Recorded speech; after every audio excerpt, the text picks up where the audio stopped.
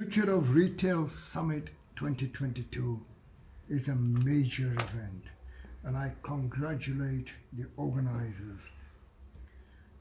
Domestic commerce is vital to our economy and plays a vital role uh, in our economy.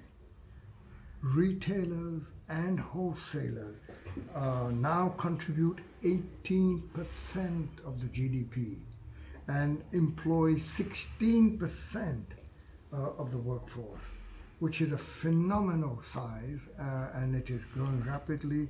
So it will, in the years to come, be an even bigger force.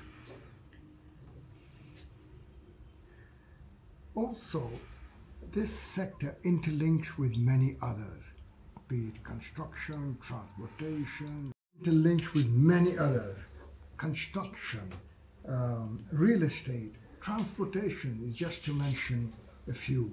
So it shows that it is an important link uh, in our uh, economy. I'm happy to see that um, the retail sector has come a long way in the past decade.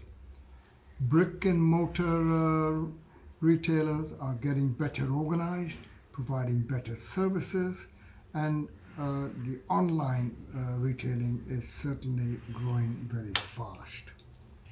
Nice to see Pakistani brands coming into the retail sector.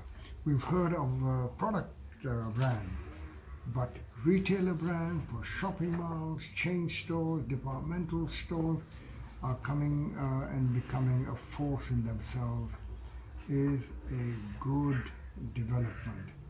There is a concept in marketing called the wheel of retailing.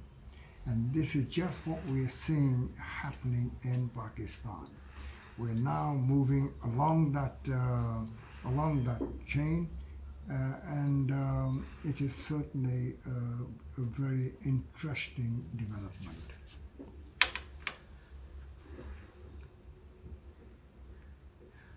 Just like with every other sector, retailers, wholesalers have their own challenges.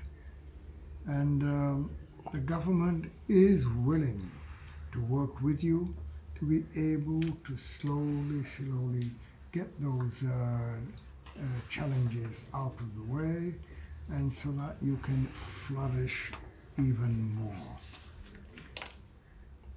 I wish this uh, future of retailing summit every success and I hope that through this the sector will grow even more.